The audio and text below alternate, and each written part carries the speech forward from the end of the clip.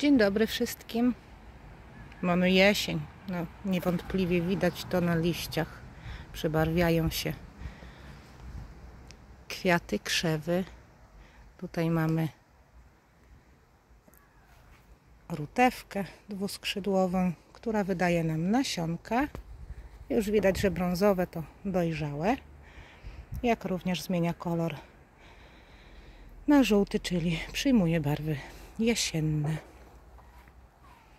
A tutaj kwitną nam krokusy jesienne. Bardzo ładnie się powysiewały, bo była tylko jedna kępka tutaj, ta widoczna, a tamte to są sieweczki. Tutaj wydają nam nasiona belamkandra, kwiaty pomarańczowe, roślina, która kwitła i wydaje nasiona, ginie, musi się wysiać i powstanie nowe poletko belamkandry chińskiej. Na rabatach kolory z kwiatów pozanikały, ale przebarwiają się, jak mówiłam już, byliny, krzewy. Tutaj mamy hostę, która również pomalutku będzie wydawała nam nasiona. Widać nasienniki wiszą, robią się żółte i już pomalutku zaczynają pękać. Hosty można wysiać wprost do gruntu lub zabrać nasionka na zimę do chłodnego, suchego pomieszczenia, może być nawet dno lodówki. Ja rozsypuję wapno, a rozsypuję je na rabatach zwykłe budowlane, żadnego nie używam z nawozami, ponieważ jest kwaśna ziemia, bardzo mocno mech zaczął wydobywać nam się na rabatkę. Tutaj zobaczcie, mamy hosty wysiane w tamtym roku wprost do gruntu. Maleństwa dopiero na drugi rok na wiosnę, na nowy sezon przesadzimy. Lepiej teraz dać wapno niż wiosną, ponieważ nie za bardzo łączymy nawozy z wapnem. Więc teraz jesienna rabatka wygląda jakby była popruszona śniegiem. Oczywiście delikatnie haczką zruszę, żeby to trochę przemieszać nie za głęboko, ponieważ mam tutaj cebulę. No i ja nie mogę używać haczki ale lekko zruszę, żeby wapno się troszeczkę zmieszało z ziemią. Sypię wszędzie, gdzie jest mech, a tu gdzie nie mogę, czyli tutaj, gdzie mam azalie, wrzosy lub rośliny kwasolubne, nie dajemy wapna. Lepiej tą ziemię zruszyć, żeby te, ten mech tak brzydko nie wyglądał. A pod azalię lepiej zakwasić niż odkwasić. Azalie dopiero zakwitną w maju, ale widać, że zadbałam o nią solidnie zbierając, pamiętacie, tego grzyba na liściach. Jest przepiękna, zdrowa, bez żadnych chorób. Kto oglądał, ten widział, jak zadbać o azalię, jakie liście trzeba obrywać zdeformowane.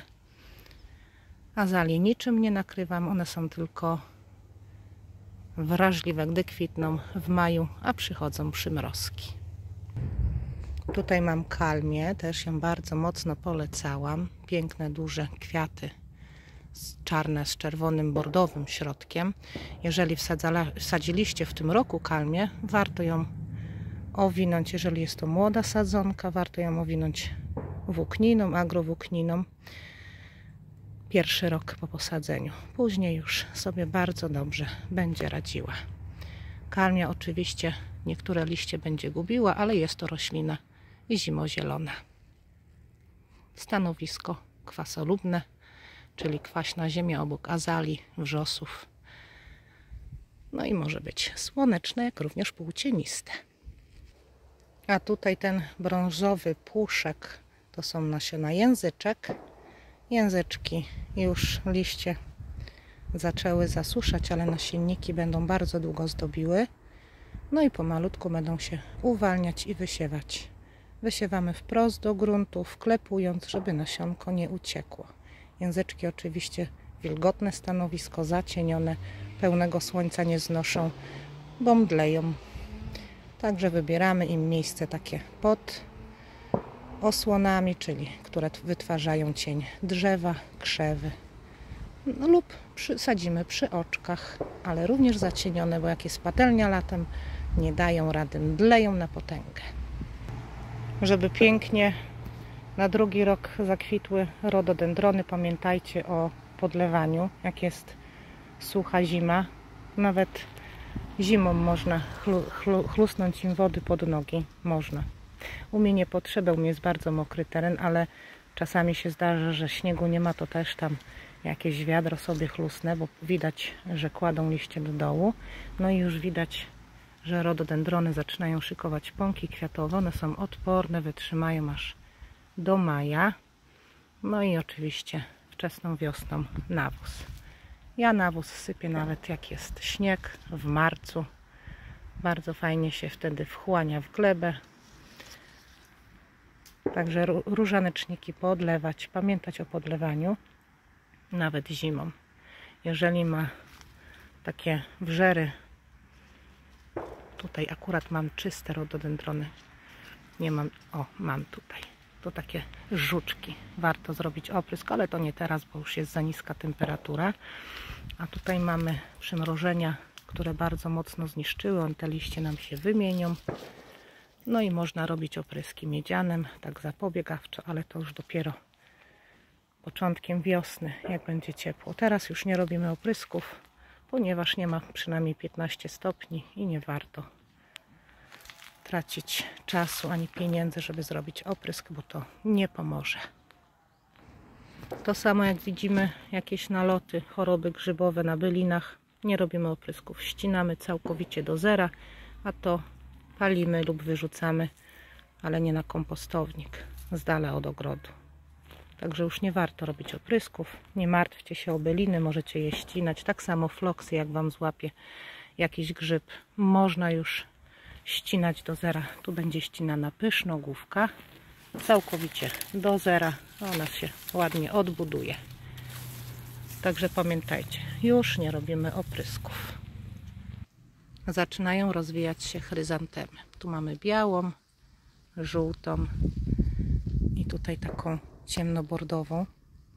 Uszczykiwane, bardzo ładne się zrobiły, a wczesną wiosną będę Wam, kochani, przypominać, jak one ruszą o uszczykiwaniu i ukorzenianiu, żeby mieć więcej sadzonek. Pamiętajcie, chryzantemy pełne słońce. W cieniu Wam będą ginęły. A tutaj zobaczcie, jak bardzo ładnie i szybko podrosły nasiona. Nasiona już sieweczki, sasanek. Sasaneczki podrosły. Niczym ich nie będę zabezpieczać. Dadzą sobie radę. To są byliny odporne.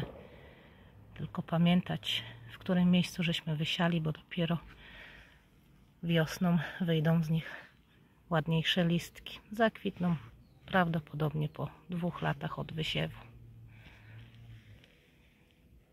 Zdarza się, że zakwitną nawet po roku. No i asterkami, czyli marcinkami tymi wysokimi żegnam Was i życzę miłego dnia, miłego wieczoru. Dziękuję za wspólny spacer, no i zapraszam na kolejne odcinki i na wspominki. Możecie zobaczyć, co kwitnie od lutego aż do teraz. Każdy film jest o innej roślinie. Pozdrawiam.